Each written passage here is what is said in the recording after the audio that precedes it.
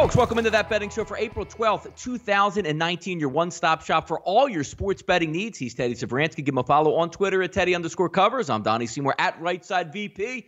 The Masters, Teddy, gets underway. Interesting day. First half, you know, minus twos, minus threes, and then it looked like all hell broke loose late. But let's not forget the old timers, Teddy. Phil Mickelson, Tiger Woods did very good yesterday. Sure, sure. Of course, we've got the updated odds for round two, or after round one, I should say. Koepka, the leader at plus 470, DJ plus 600, DeChambeau plus 650, Rahm plus 1100, Mickelson sitting alone in third place right now, plus 1200, and of course, Rickie Fowler at plus 1400. Those are the leaderboard or the, the top uh, golfer odds uh, for the Masters after round one. Obviously, we'll see these odds bounce all day, all night, and into round three on Saturday. Yeah, Tiger Woods struggled a little bit with his putter yesterday, but as he left the golf course, looked like he was going to set up for a minus three, but finishes at minus two, which is a great round because over the past, you know, years, he hasn't gotten off to the best starts, usually finding himself down seven or eight shots after day one in a major tournament. Phil Mickelson poured it on late, grabbing into it. But again, we're talking about a 48 year old golfer here heading into the weekend, but the game that he has, same thing with Tiger Woods, really translates well to Augusta. If you're going to be aggressive, if you can have great iron play, you can really score. But the one thing I always find myself getting back to, Teddy, is some of these younger guys with the chops. DeChambeau currently leading right now with minus seven, uh, Ian Poulter minus four, Jason Day, who, if you didn't see yesterday, Teddy, picked up his daughter on the putting green before the round started, hurt his back and had to get stretched out. Looks like he was a 60 year old man, but yet he finds himself today, Teddy, in the top three. exactly. Because what are the headlines?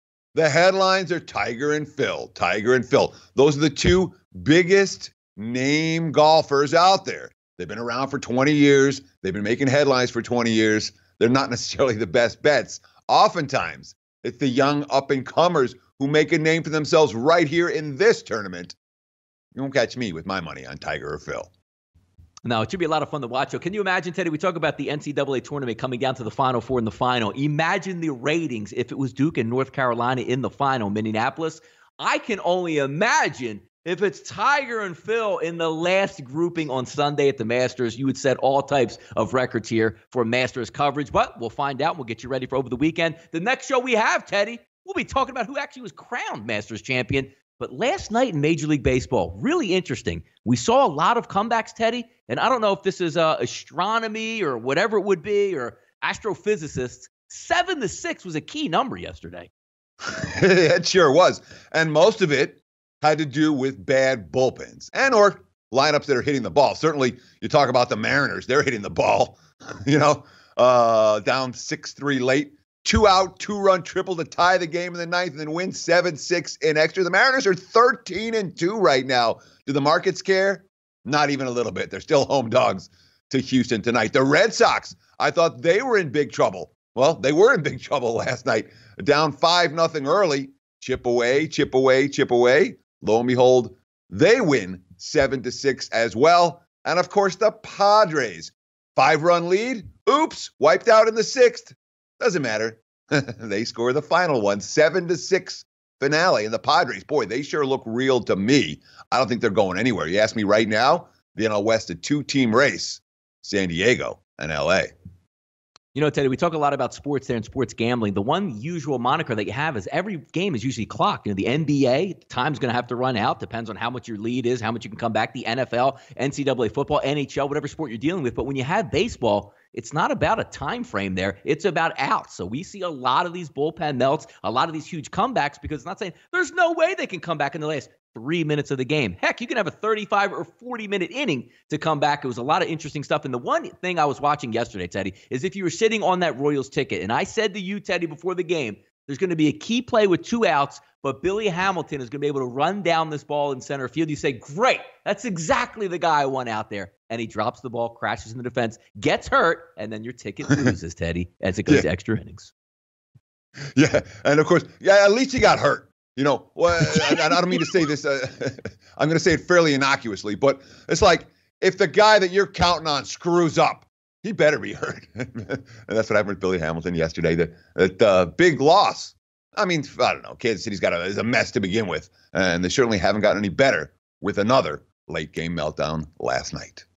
Yeah, Mitch Haniger t- tattooed that ball, but you saw Billy Hamilton tracking it, and he just misplays it at the wall and then springs himself on the wall. It's one of those things saying it might look better if I actually get hurt here and leave the field. Oh, he tried his best, as opposed to the narrative saying, "Boy, you can't drop that ball. What are you doing out there?" But hey, it is Major League Baseball, and keep in mind, Teddy, we're only in the first two weeks of April. We have an entire summer to talk about these circumstances. Overnight line movers. We'll get to some Major League Baseball, but we do have to tell you, SBRodds.com, the single place on the internet. It's exactly where you want to go to get all these line movements, updates, and changes right through sportsbookreview.com. Corbin on the mound for the Nationals, and that line is rising. Offshore market steady, opened up around 160, rising to about 180 with a total of eight. Williams and Corbin on the mound tonight in the in the capital.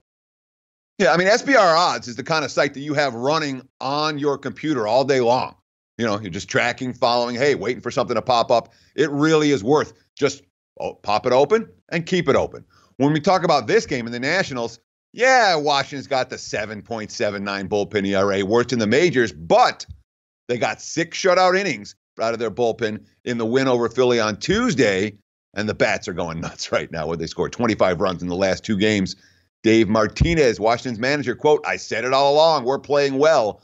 Our bullpen's starting to pitch the way they're capable of pitching, and we're swinging the bats. I'm proud of the guys yeah, the betting market's paying attention. Washington looks pretty good in early season play and certainly had a very successful road trip, taking two out of three from each of their top two, well, two of their top three uh, NL East rivals. Boston Red Sox, Teddy, last night, as we talked about it, left for dead, come back with an inspiring win in the bottom of the ninth inning. Now the line actually creeped up to around minus 300 earlier today. But peeling back here, Hess is on the mound versus the lefty Rodriguez. Across the markets, as we take a look at SBRodds.com, minus 243 at Pinnacle, minus 255 at CRIS, minus 250 at Intertops. So that line coming down a little bit lower, but that total still sticking at the double digits with 10. Yeah, and a lot of this has to do with Baltimore. you know, I mean, yeah, there's momentum for the Sox. That was a nice win. That was a win they had to have yesterday, and the way they did it, rallying from a five nothing deficit, certainly positive momentum moving forward. But this is all about Baltimore and the Orioles' last five games. They do have one win. The four losses, they lost 13 to 2, 15 to 3, 10 to 3, and 8 to 5. Every one of those games flying over the total. Their bullpen is shot already, and they can't get anyone out. That's a bad news. That's that's a very bad news against a Red Sox lineup that is finding their way offensively understand why the total went up, understand why the Red Sox money came in. Although there has been some buyback, the market's still not excited about laying $3 with Boston at this stage of the season. Teddy, looking at the game a little bit later tonight between Houston and Seattle. Line opened offshore at Pinnacle at eight and a half, now sitting at nine. We did have some nine and a halfs across the board, but it looks like it's settling in right now at nine. It's Miley and LeBlanc on the mound. The one thing that interests me about this game, obviously T-Mobile Ballpark in Seattle, a huge place. Ball doesn't carry well, and of course in Seattle, what are we looking at? Maybe a little rainy conditions there, 55, 60 degrees. So you never get that true muggy conditions that you get maybe in New York City, Philadelphia, or down there in Miami. But taking a look at each one of these ball clubs, slaying left-handed pitching, weighted on base average, Teddy, 430 and 397 between both of these teams going after lefties. We might see some fireworks here, but hey, you got to hit that ball a long way up there, Teddy, to get it out.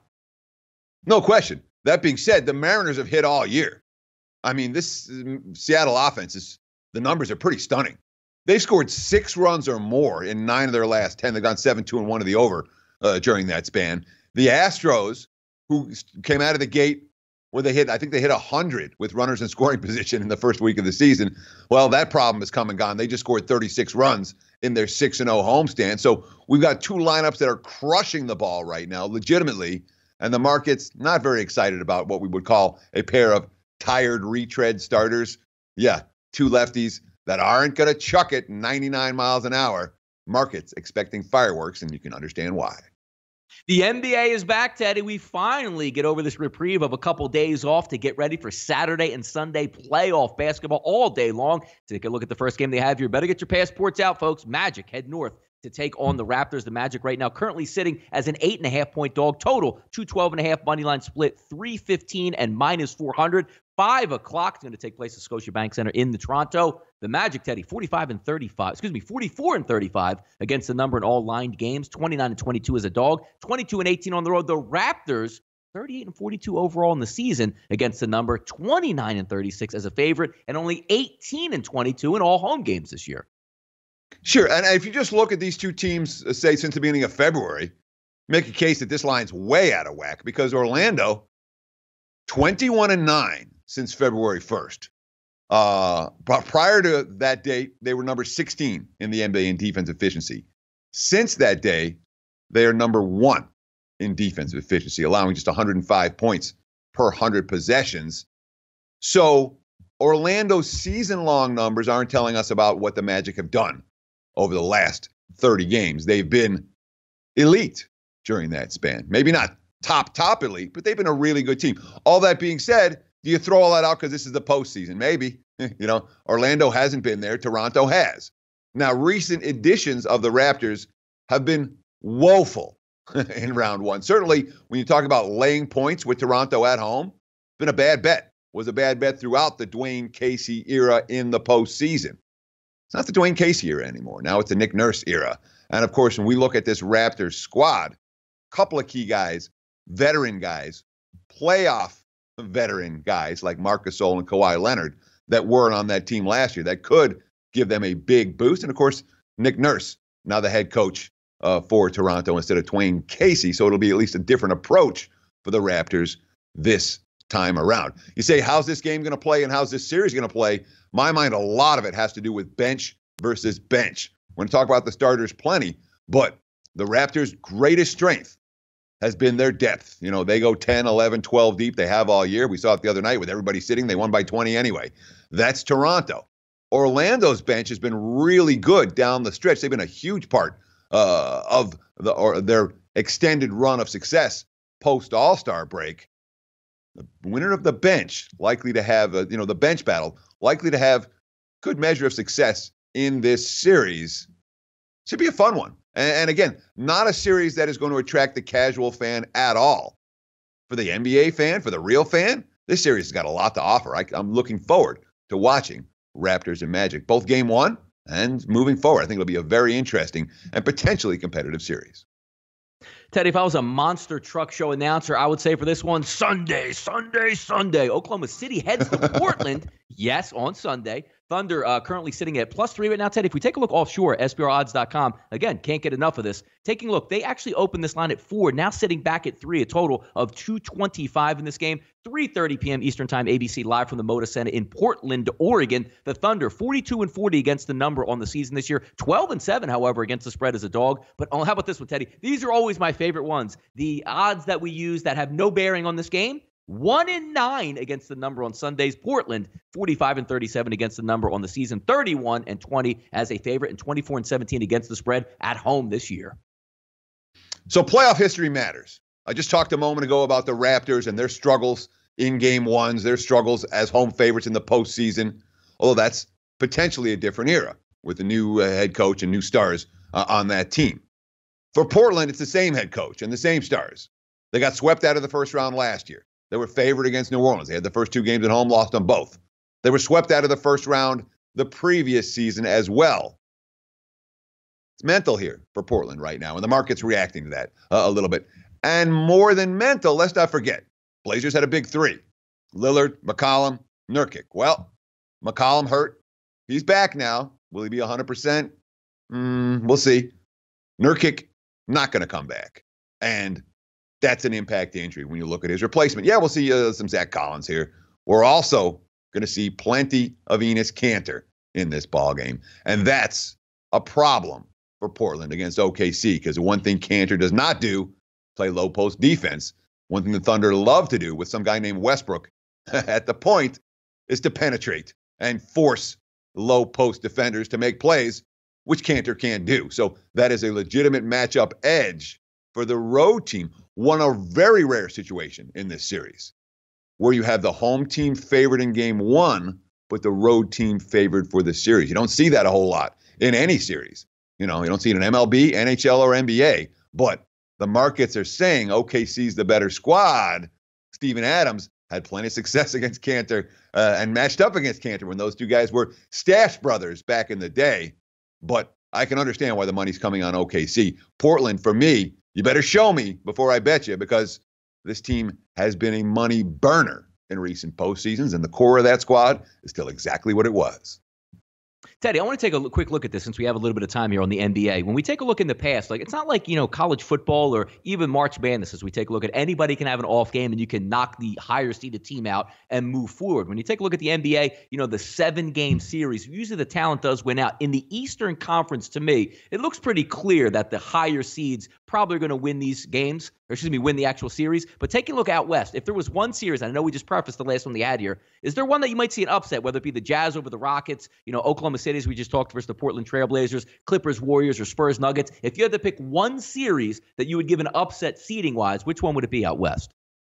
Oh, it'd be OKC over Portland. I mean, Portland, uh, you know, the, the Thunder are favored for the series, which tells you all you need to know. And the Blazers don't have that postseason track record, uh, and they're missing their low post stud. So that's the one that stands out. But of course, I'm taking the favorite, uh, which doesn't, you know, I don't know if that counts. The other one I would look at maybe would be Denver. Uh, getting upset by San Antonio. I do think the Spurs are capable of giving the Nuggets a real series. And one thing that is definitely different for the NBA playoffs, when you compare that to the NHL, the NFL, college football, college football, MLB, wherever you want to go, the class always wins in the NBA. And teams don't go on championship runs when they haven't been in the postseason before. So you don't see the teams coming out of nowhere in baseball, uh, or I'm sorry, in, in, the NBA, the way sometimes they do in MLB or NFL, where a team just gets hot at the right time. That doesn't happen in basketball. So I'm not looking at the these series.